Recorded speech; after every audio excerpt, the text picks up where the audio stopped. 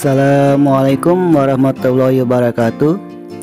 Jumpa lagi di channel kita David Ajahra Seperti biasa di channel kita ini akan membahas berbagai macam tutorial Android dan tentang seputar YouTube Atau bahkan tentang kebijakan pemerintah.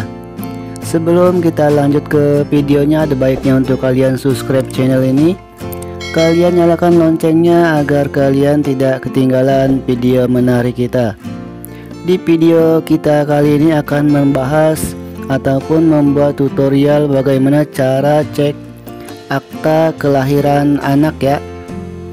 Agar tidak gagal paham tonton terus videonya dan jangan di skip-skip ya untuk tutorialnya. Oke, sekarang kita lanjut saja kita klik gambar kamera ini di Google ya. Nah, yang ini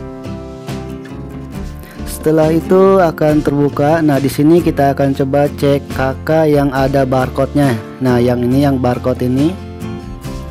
Oke, langsung kita cek, langsung kita klik yang ada tulisan itu ya. Nah, di sini kita masukkan untuk captcha-nya ini ya. E, kita perbesar dulu dan di sini kita masukkan captcha-nya ini ya. Setiap kita buka itu captcha-nya akan selalu berbeda. Setelah selesai lalu kita pilih tampilkan. Dan untuk hasilnya ini ya maaf kita tutup ya agar tidak terjadi hal-hal yang tidak diinginkan. Jika tandanya checklist seperti ini berarti itu aktanya itu berarti sudah aktif ya ataupun sudah terdaftar di Disduk Capil ya.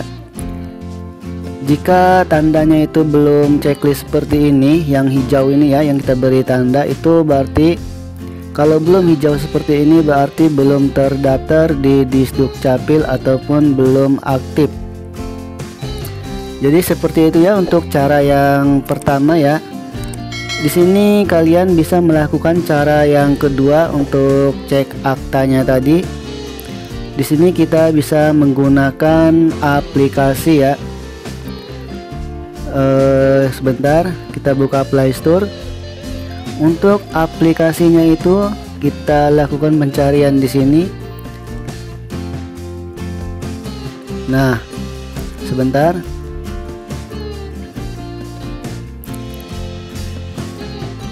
QR barcode scanner ya kita klik saja. Nah yang ini bisa dilihat ya yang kita beri tanda panah ini.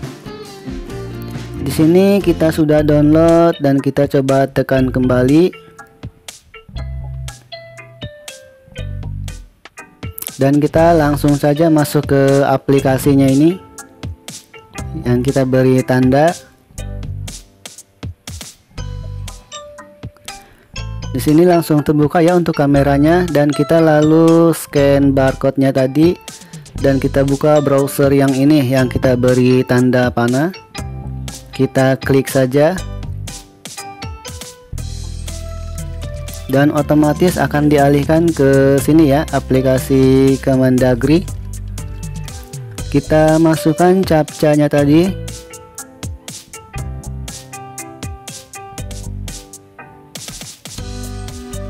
setelah selesai kita buka ini ya tampilkan.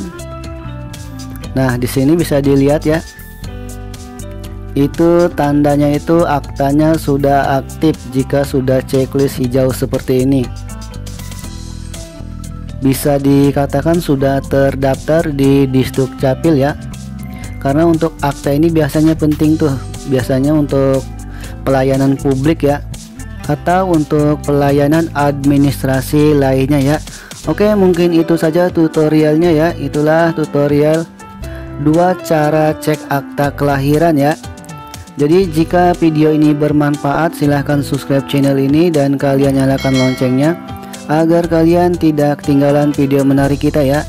Bagi kalian yang sudah subscribe terima kasih atas dukungannya. Semoga rezeki kalian lancar dan barokah. Amin. Terima kasih